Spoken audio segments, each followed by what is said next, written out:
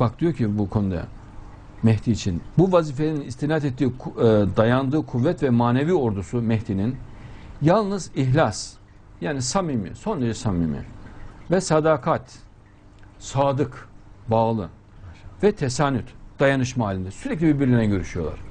İnşallah. Tesanüt tam bir dayanışma içinde olan sıfatlarına tam sahip olan bir kısım şakirtlerdir, talebeleridir. Mehdi'nin. Müritleri, Talebeleri. Çok İnşallah. az talebeleridir. Ne kadar da az olsalar diyor Bediüzzaman. Çok az sayılar diyor. Manen bir ordu kadar kuvvetli ve kıymetli sayılırlar. Emir Dağ alakası sayfa 259. Hazreti Mehdi'ye aralarında kadınların da bulunduğu 314 kişi biat eder diyor Peygamberimiz.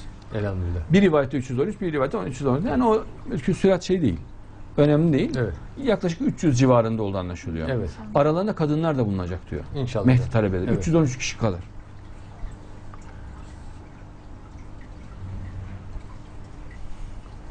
Bedir Savaşı'ndaki askerler gibi diyor Peygamberimiz. Maşallah. Sallallahu aleyhi ve sellem. Bak Bedir Savaşı'ndaki askerler gibi 313 kişinin kumandasını elinde tutarak etrafa meydan okuyacak Mehdi diyor. Maşallah. Meydan okuyacak. Öyle delikanlı ki Evet, evet Allah. beşer beşer onar onar gelin diyecek inşallah. İnşallah hocam. İnşallah. Çünkü bu 313 kişi gece abid, çok ibadet eden kimselerdir. Gündüzde kahraman, delikanlı niteliği taşımaktadır diyor. Elhamdülillah. Kim söylüyor? Allah'ın Resulü söylüyor sallallahu aleyhi ve sellem. Maşallah. Kıyamet Alametleri kitabının sayfa 369.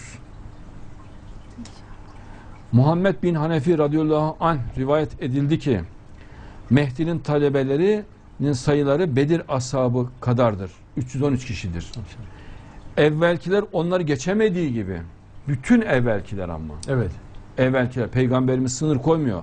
Evvelkiler onları geçemediği gibi o talebeleri yani üstünlük açısından sonrakiler de onlara yetişemez. Maşallah. Elhamdülillah. Mehdi talebeleri. Maşallah. Elhamdülillah. Onların sayıları Talut ile Kur'an'da geçen Talut ile nehri geçenler kadardır. Onların da sayısı da 313 kişiler. Talut'tan. Evet, evet hocam.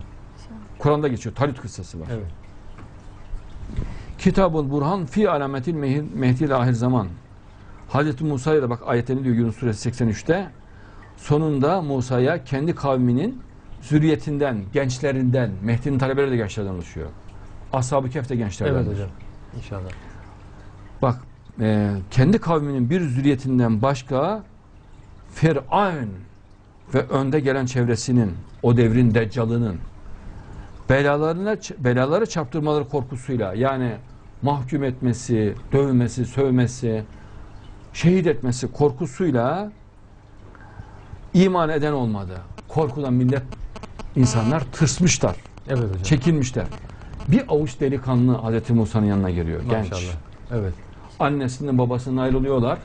Firavun'a meydan okur. Ne yapıyorsan yap diyor. Biz gidiyoruz yanına gidiyoruz. Yani. Evet hocam. Asiye annemiz de gitti. Kahpe Firavun onu şehit etti alçak. Evet. Hazreti Musa'nın yanına gitti diye. Evet hocam. Özel adam gönderdi ve şehit ettiler annemizi. Maşallah. Çölde senin yanına gideceğim dedi. Ben sıra istemiyorum dedi. Firavun'un sarayını da, kendini de, hayatını da, inançlarını istemiyorum. Senin yanında ben çölde gideceğim dedi Hazreti Musa'ya. Maşallah. Maşallah. Maşallah. Annemiz. Maşallah. Ama o kahpe onu yüce bir mertebeye çıkarttı, şehit etti. Evet. Ne Elhamdülillah. mutlu ona. Evet. Hem mümin hem de şehit mümin. Evet. Ne güzel. Maşallah. Allah cennette tanışmayı nasip etsin inşallah. İnşallah. Çünkü Fira- Firavun gerçekten yeryüzünde büyüklenen bir zorba. Bak enaniyetli, iddia edilen Ergenekon örgütü gibi. Evet. Tahakküm ediyor. Halktan daha büyük, daha yukarıda, daha üstte olduğu kanaatinde. O zamanın iddia edilen Ergenekon örgütü onlar. Evet hocam. bir zorba. Aynı iddia edilen Ergenekon örgütü gibi sadist ve kan dökücü, işkenceci. Bak zorba diyor Allah. Ve gerçekten ölçüyü taşıranlardandı. Ölçü yok adamda. Yunus suresi 83.